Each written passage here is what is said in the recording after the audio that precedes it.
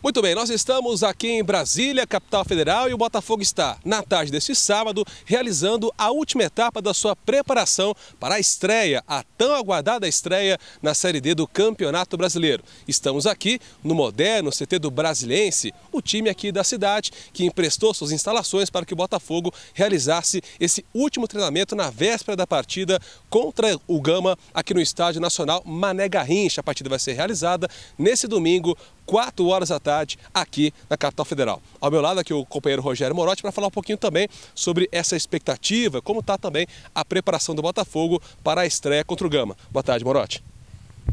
Boa tarde você, Luiz. Boa tarde a todos os torcedores botafoguenses que nos acompanham. E chegou a hora aí da estreia, depois de quase dois meses de treinamento. Amanhã, dia 12, domingo, Botafogo estreia aí na Série D do Campeonato Brasileiro, jogando contra o Gama aqui no Distrito Federal. Partida que era para acontecer na cidade de Gama, lá no estádio Bezerrão, mas o estádio é, lá, o Bezerrão, né, Valmir Campelo Bezerra, não tem os laudos e por isso essa primeira rodada vai forçar aí o Gama a jogar aqui no Estádio Nacional de Brasília. Para o Botafogo, melhor, né? Um estádio mais mais neutro, o gramado muito bom. É, todos nós pudemos ver isso na última quarta-feira, quando o São Paulo venceu o Vasco da Gama pelo Campeonato Brasileiro. Boas instalações, é, expectativa aí Hoje a gente acompanhou aqui a imprensa local, cerca de 5 mil torcedores do Gama devem estar presentes amanhã e também é esperado aí cerca de 100 torcedores do Botafogo, muitos já se encontram presentes aqui na cidade de Brasília, a gente já encontrou vários deles na sexta-feira quando a gente veio de Ribeirão Preto na estrada, nos postos de gasolina. E a expectativa é que o Botafogo tenha aí o apoio de mais ou menos 100 torcedores que saem lá de Ribeirão Preto para acompanhar a partida, que já saíram e que vão sair ainda também na madrugada deste domingo para acompanhar a estreia do Botafogo na Série D. Como você disse, Botafogo fazendo agora aqui no CT do Brasiliense o seu último último treinamento antes da estreia. Porém, o técnico Marcelo Veiga só deve definir a equipe e anunciar a equipe titular que enfrenta o Gama amanhã, momentos antes da partida, né, Luiz? O Marcelo Veiga tem cinco desfalques. Ele não pode contar com o goleiro Andrei, que está com a seleção brasileira, disputando o Pan-Americano, estreia amanhã o Brasil, né?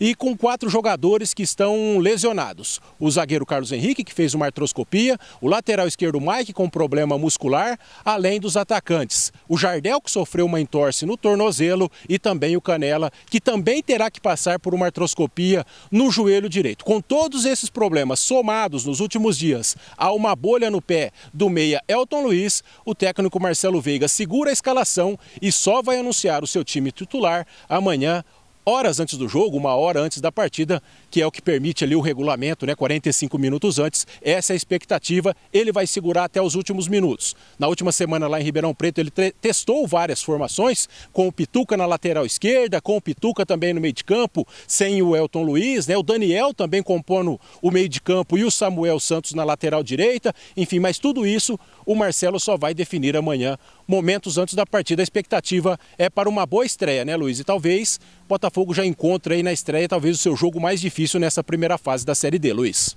É, o que todo mundo imagina de fato, né? O Gama ser o principal adversário do Botafogo, pelo menos já nessa primeira fase. Se as dúvidas são muitas, muitas também são aqui é, as boas energias e a confiança para que o Botafogo faça já no primeiro jogo uma boa partida e busque já seus primeiros pontos na competição, a Série do Campeonato Brasileiro. Um pouquinho sobre o time do Gama.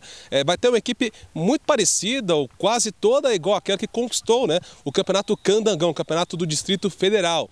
Tem alguns jogadores com um pouco conhecidos do futebol de São Paulo, com o atacante Rafael Grampola, com passagens por vários clubes do estado de São Paulo, mas também tem problemas o time aqui é, do Distrito Federal, como por exemplo alguns jogadores que foram recém-contratados, o goleiro Adilson Júnior, que disputou a Série 2 deste ano pelo Atlético Sorocaba, mas o zagueiro Gustavo e outros atletas que ainda não foram regularizados, não foram inscritos na CBF, por isso não devem enfrentar, não vão enfrentar o Botafogo no jogo de amanhã à tarde aqui na capital federal. O técnico Gilson Cranzot tem os seus problemas e também deve confirmar a equipe apenas amanhã, momentos antes da partida contra o Pantera. Aqui de Brasília, vamos conferir agora a palavra do técnico Marcelo Veiga, com as suas impressões e a sua expectativa para o jogo de amanhã contra o Gama. É, assim, eu fiz uma preparação basicamente com a mesma equipe, mas a expectativa de que quem vai entrar dentro de campo, quem tem a possibilidade de iniciar, possa iniciar bem. É, o fato de eu não anunciar quem vai entrar é justamente para criar um pouquinho de suspense, né? O Gilson já deve saber já, todo mundo já sabe. Eu não tenho esse costume de ficar aprendendo escalação, mas como é começo de campeonato, acho que uma dúvida sempre é bom a gente a gente ter porque acaba complicando um pouquinho, até mesmo o posicionamento de uma bola parada, isso acaba dificultando um pouquinho. A gente fez uma viagem bem desgastante, eu acho que é, não é fácil você estar tá aí 12 horas dentro de um ônibus para um jogo tão importante como é esse, principalmente o que decide o futuro tanto de Gama como do próprio Botafogo. Mas a gente tem que encarar essa realidade, nossa realidade é completamente diferente daquilo que a gente vê no nosso futebol. Né? A gente tem que matar um leão por dia, deixar dois e ainda pegar o resto aí no caminho. Mas eu, eu acredito que o trabalho foi muito bem feito e a expectativa é de que essas dificuldades a gente consiga tirar dentro do jogo e, e possa tirar um grande proveito com um bom resultado. Eu acho que o Botafogo tem uma maneira de jogar, tem uma postura. Eu acho que a gente vai começar a identificar essa postura a partir desse primeiro jogo, né? E eu espero que a gente consiga, com essa identidade, poder buscar as alternativas dentro do jogo, ser um pouquinho mais agressivo, um pouquinho mais cauteloso. Eu acho que dependendo de como o adversário se comportar, a gente tem alternativas para poder neutralizar as possíveis jogadas dos adversários e colocar o ritmo de jogo que cabe ao Botafogo fazer. E quem também falou aqui em Brasília no último treino antes da estreia na Série D foi o volante Gilmarque. A expectativa é a melhor possível, né? É, viemos numa batida de quase 50 dias de treino, esperando essa hora de, de, de estrear estrear no campo bom, contra um time bom, estrear com, com um time que, que foi campeão aqui da, do estado, então a gente na expectativa é a melhor possível, respeitando a equipe do Gama, mas a gente também tá, treinou bem e vamos para esse confronto. É um confronto difícil, mas a gente está tá concentrado para ir fazer um bom jogo. Equipe qualificada, né, cara? Tem jogadores bons, jogadores experientes como o Baiano, cara é, não tenho o que falar aqui, não tenho, tenho que abrir a boca para falar do Baiano, um jogador que todo mundo conhece. E outros jogadores que, que a gente acompanhou aí e não foram campeão à toa, né? O time não é campeão à toa. Então, é equipe de qualidade. Vamos, vamos enfrentar uma equipe boa, mas a gente também está bem preparado, né? como eu falei.